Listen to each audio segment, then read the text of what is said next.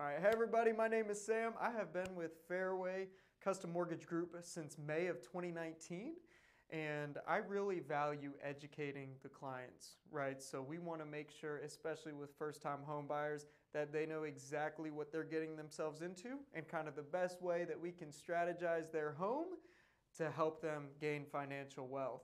So a few other things I like to do in my spare time is play golf.